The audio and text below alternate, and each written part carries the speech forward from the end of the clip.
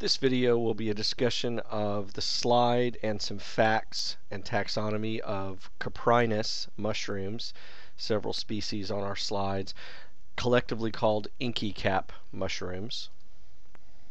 Let's review Coprinus taxonomy. It is in the domain Eukarya, which means a true membrane-bound nucleus, kingdom fungi, and then we go through division, class, order, family, and genus, Coprinus. Remember, genus is always capitalized and in italics.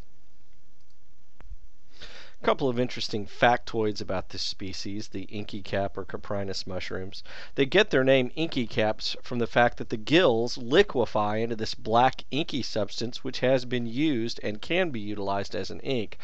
The liquefaction, however, is not designed to be ink. It's designed to aid in dispersing those spores. It causes the cap to peel upward and as the wind blows, it positions the spores in the best possible position to catch that wind current to increase the odds of better dispersal.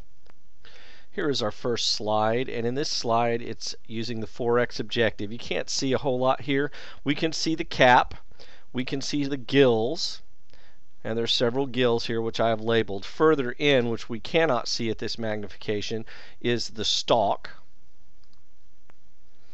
Now here is the same slide, only we've increased magnification. We are now utilizing the 10x objective. We can see the cap here, and we can see these gills a little closer, and now we can actually see a few spores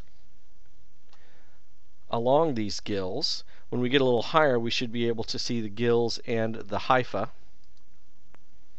Now here is a different slide using the 4x objective. This slide has faded over time, but I selected it because we can actually see the cap, the stalk, and the gills, and you can even see at 4x a few of these little fuzzy spots. Those are actually spores.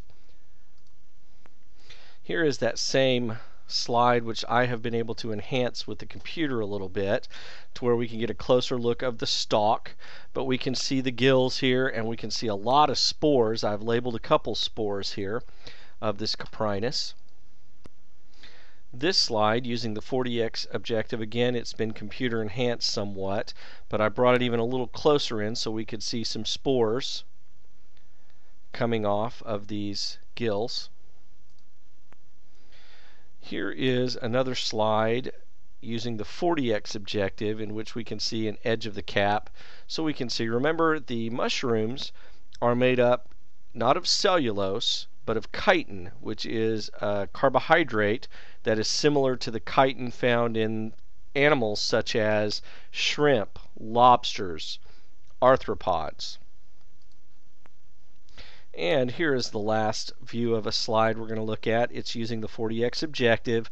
It's a very close-up shot of a gill, and we can see lots of spores, and we can see hypha. Hypha are the main mode of vegetative growth in mushrooms, and together, collectively, hypha are referred to as mycelium.